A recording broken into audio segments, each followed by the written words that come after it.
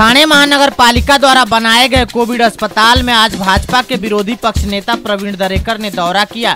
इस दौरे में प्रवीण दरेकर ने थाने मनपा द्वारा छटनी किए गए लोगों को फिर से काम पर रखने की मांग की। ज्ञात हो कि थाने मनपा ने मनपा के कोविड अस्पताल में काम करने वाले लगभग 500 से अधिक लोगों की छटनी शुरू कर दी, जिसके लिए इस अस्पताल के बाहर धरना प्रदर्शन शुरू हो गया।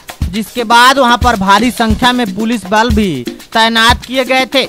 बता दें कि मामला संविधा पर रखे गए चिकित्सक, नर्स, स्टाफ, वार्ड बॉय का है, जिन्होंने अपनी जान पर खेल कर कोरोना काल में लोगों की जान बचाए। लेकिन कोरोना मरीजों की संख्या कम होते ही इन लोगों को निकाल दिया गया, जिसके बाद यह धरना प्रदर्शन शुरू किया गया। देखना यह है कि इस मामले में भाजपा नेता प्रवीर दरेकर के दौरे के बाद ठाणे महानगर पालिका क्या ठोस कदम उठाती है? त्यांना आम्ही अल्टिमेटम दिलेला आहे. आज या ठिकाणी भारतीय जनता पार्टीच्या वतीनं आमचे शहराध्यक्ष आमदार निरंजन डावखरे गटनेते डोंबरे आणि सगळे आम्ही प्रमुख लोक याचसाठी आलो आहे की बाबा कोविडच्या काळामध्ये संकट काळात आपला जीव धोक्यात घालून ज्या डॉक्टरनी काम केलं ज्या नर्सेसनी काम केलं आणि तेव्हा ते सव्वीस सव्वीस बेड एक डॉक्टर आणि एक नर्स सांभाळत होती. आणि त्यावेळेला गरज होती. एका बाजूला आम्ही देवदूत म्हणतो यांना एका बाजूला आम्ही कोविड योद्ध म्हणतो. आणि ज्या वेळेला आता त्यांची गरज वाटत नाही त्यावेळेला त्यांना एका मिनिटात सर्क्युलर काढायचं आणि फेकून द्यायचं तर असं हे चालणार नाही. कारण आजही कोविडची विषय संपलेला नाही तिसरी लाटही येऊ शकतो. मग उद्या आयत्या वेळेला पुन्हा यांच्या हातापाया पडणार का? मला वाटतं हे योग्य नाही. ॲडिशनल एम सी या ठिकाणी आले होते. त्यांना आम्ही सांगितलं की ज्या ओमसाई एजन्सीशी बोला. त्यांचं काहीतरी एम ओ यू झालेलं आहे. निदान एम ओ यू आहे तोपर्यंत त्यांना ठेवा.